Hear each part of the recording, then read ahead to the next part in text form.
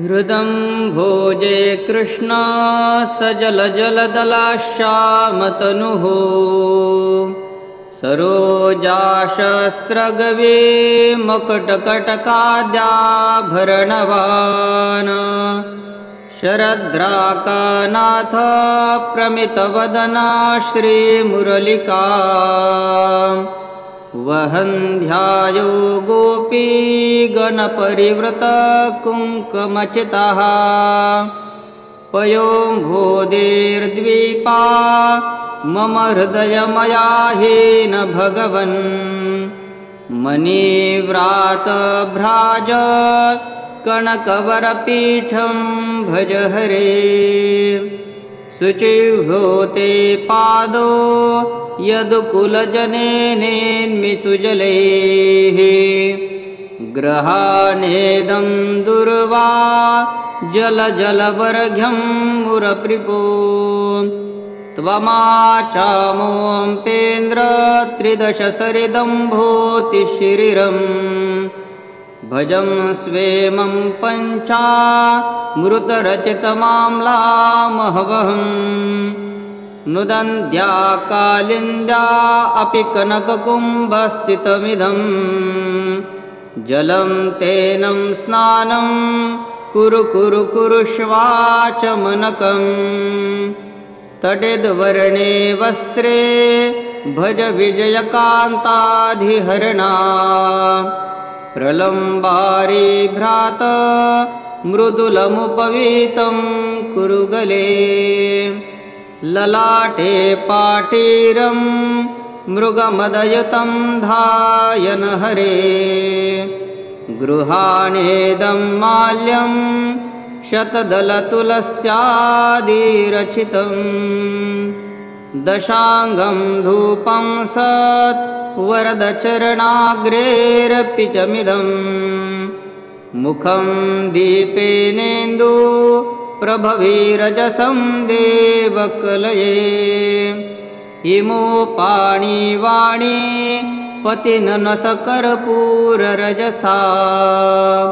विशोध्याग्रे दत्तं सुलितमिदमाचामनृहरे।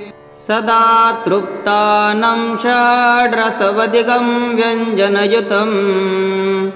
सुवर्णामत्रे गोघ्रोच्चशकयुक्ते स्थितमिदम्। यशोदासूनो तत्परमदयायाशानसखिभिः प्रसादं वाञ्छाद्भिः सह तदुदूरं पिब विभो। सुचीर्णं ताम्बूलं मुखशुचिकरं भक्षय हरे। फलं स्वादुप्रीत्या परिमलवदास्वादचिरम् सपर्या पर्याप्ते कनकमणिजातं स्थितमिदम् प्रदापेरारार्ते जलधितनयाश्लिष्टरचये। विजातीये पुष्पे रतिसुरभिर्बिल्वतुलसी। यदेष्टेनं पुष्पाञ्जलिमजितते मूर्धिनिधये तव प्रादक्षिण्याक्रममगविद्वंशिरचितं चतुर्वारं विष्णो जनिपथि गतो श्रान्तविभो। नमस्कारोष्टाङ्गं सकलदुरितध्वंसनपटु। कृतं नृत्यं गीतं स्तुतिरमिरमाकान्तसततम् तव प्रीते भूया दहमपि चादासस्तव विभो। कृतं छिद्रं पूर्णं कुरु कुरु नमस्तेस्तु भगवन्। सदा सेव्य कृष्ण सजलघननीलकरतले